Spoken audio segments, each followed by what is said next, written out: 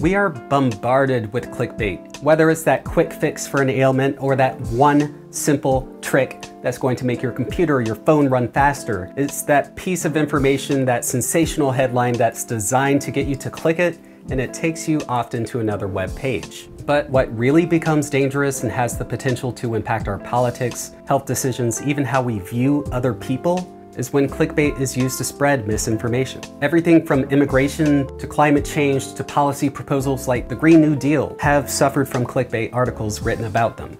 In recent years, one of the most common refrains in politics has been a surge of misinformation around election season. So-called fake news can have real-world consequences. In 2016 is when many of us first hear this term, fake news, used as intentional disinformation about politicians and their issues. Can you, st can you state categorically? You are fake news. One analysis looked at more than 30 million social media posts before the election that had linked to external sites. That analysis found that 10%, more than 3 million of these, went directly to fake news sites and another 15% went to sites that had highly biased news coverage. That's nearly 7.5 million individual posts that could be reshared and retweeted. But what was the source of all of this fake news? In 2016, a major producer of this content is Macedonia, or North Macedonia. That's not to say they were the only country making fake news, but they made a ton of it. And a lot of it came from a single town called Veles, home to fewer than 50,000 residents. You see, according to reporting, a group of Macedonian teenagers in and around Veles actually played an outsized role in crafting the narrative about Donald Trump and Hillary Clinton by creating all of these fake news sites.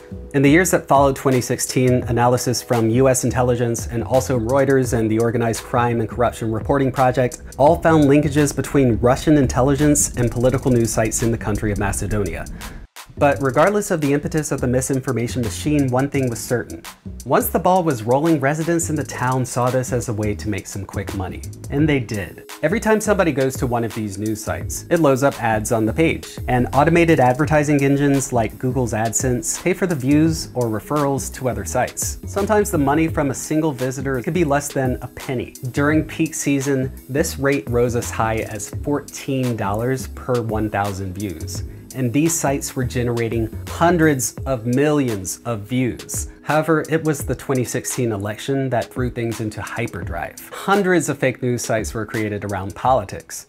So fast forward, in response to the public pressure against these so-called fake news sites, sites like Facebook tightened up on misinformation, blocking multiple pages from Veles, and also restricting political ad sales to foreign entities. Twitter now even alerts people when they're sharing something without actually reading an article. It's all an attempt to slow down misinformation, but clickbait is still around and it's here to stay. As a producer, it takes a lot of work to discern what is reality from what is information being presented to us just to sell clicks. I've got my own foolproof method.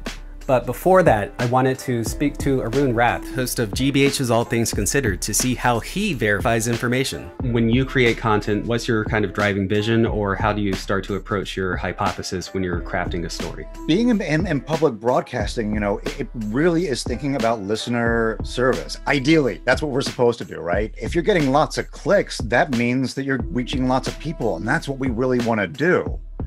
But that's the trick is, is, is balancing that with getting people's attention with, with, with things that, that are that are real, right? I've identified a simple three-step process to identify whether information is real or if it's cap. Cap, yeah, that's cap. Cap, yeah, that's cap. Cap, yeah, that's cap. Yeah, that's cap. All right, so cap is pretty simple. The C stands for check the source. Cap. Is the author of this information apparent? Who's posting it and how is it being presented to you? Is the platform a trustworthy source for this type of content? If not, then yeah, maybe it's cap. I'd never even heard that phrase before, but that's the first thing I, I think, you know, when I see something that looks, wow, that, that looks amazing. Um, the, the source is the first thing that, that I think about. My kids who are now very attuned to, uh, to media, that's something that I've, I've ended up drilling into them over and over again. Arun is right. For example, medical information that you might find on Instagram. Ask yourself, is Instagram really the only place I can find this information? And are there credible sources elsewhere that can corroborate it? Part two of the CAP test, A, stands for analyze. Analyze the evidence.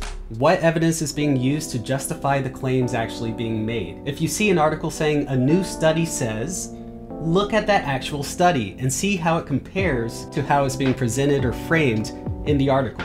You might find that they're very different, and maybe even reach out to the expert who published that story to get their point of view. Something that I've told a lot of producers uh, starting out, even if you don't want to get into investigative journalism, you'd be surprised by how many people will answer your questions. Who, who you would think wouldn't respond to you if you just like you know call them and, and, ask them. It starts off with picking up the phone and calling people. And that makes a lot of sense that the experts can dissect a lot of science information quickly. Take this example. In 2014 a rash of misinformation headlines claimed that farts could potentially cure your cancer. These were based off of a report about a new compound that delivered small bits of hydrogen sulfide to aid mitochondria, the powerhouse of the cell. But nowhere did this say that you should smell your farts to prevent cancer. The headlines, on the other hand, cap. Also be aware that science is a process that continuously involves researching and finding new information to verify a claim. You have to be attentive to developments that occur over time to make sure you still have the most recent and accurate evidence. Back to CAP. P stands for process, the purpose. Pay attention to content that contains very hyperbolic language to get a point across. Misinformation often depends on using language that elicits outrage or fear to directly appeal to our emotions. If this is the case with the article or video you're reviewing, then it likely doesn't meet all of the criteria to be taken at face value. In fact, it may be In conclusion, it all comes down to the motivations of the creator of the content that you're reviewing. They could be economic, as in the case of North Macedonian teenagers, or they could be political articles about a candidate or a party. So whether you're a creator of content or just reading through the headlines, keep your thinking caps on, and just remember to watch out for CAP.